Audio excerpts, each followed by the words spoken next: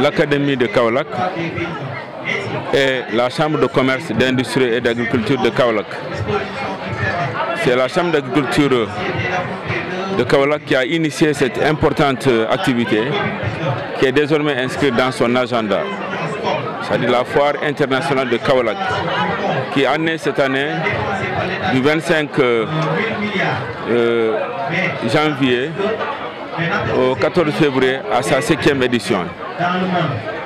Dans le cadre de la collaboration, qui a toujours été une collaboration dynamique et fructueuse entre la Chambre de commerce et l'IA de Kaolak, nous avons été invités à participer ou sinon à organiser le concours, concours de didactique de la FICA, qui est l'occasion pour les élèves des différents lycées de l'académie sur la base du volontariat et en accord avec les équipes pédagogiques respectives et les chefs d'établissement, les proviseurs.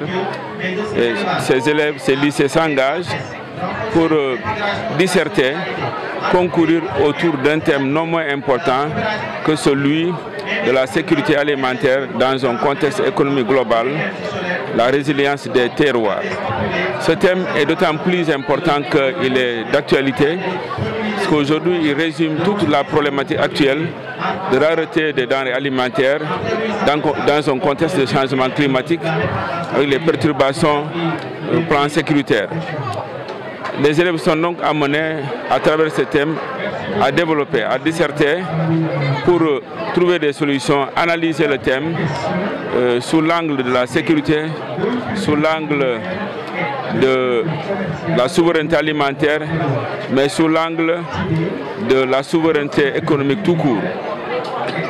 Et nous sommes également d'autant plus satisfaits que euh, cette collaboration entre la Chambre de commerce, qui est une structure euh, très impliquée dans le développement local, donc le développement à la base, alors, cette collaboration euh, permet de comprendre les relations, le dialogue nécessaire entre les structures de développement à la base et l'éducation. Parce que nous, nous avons pour mission euh, d'assurer le développement de l'éducation et de la formation au niveau régional, pour le compte du ministère de l'Éducation nationale.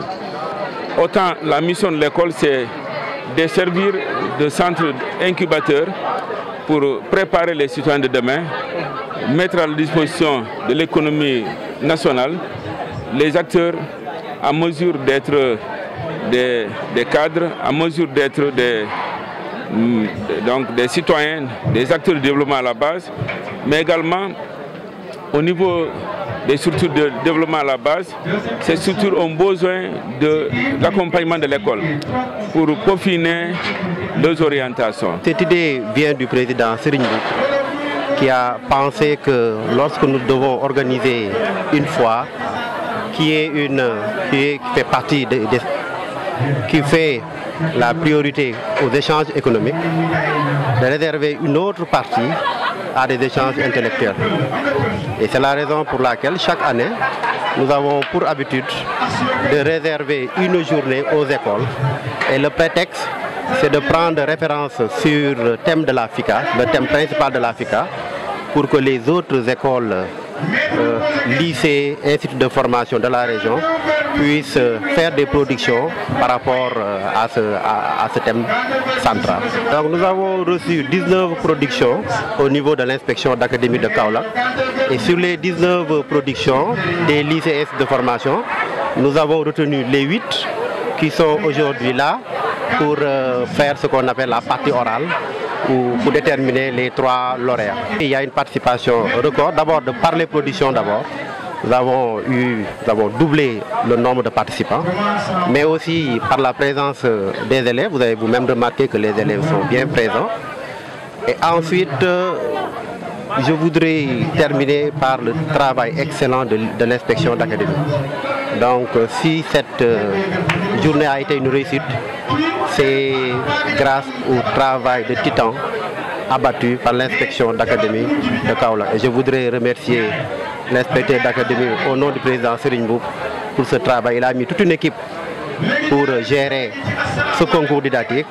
Et là, ça montre que dans une région, on peut avoir ce qu'on appelle un partenariat entre services qui permettra à la, région de Kaolack de pouvoir rayonner.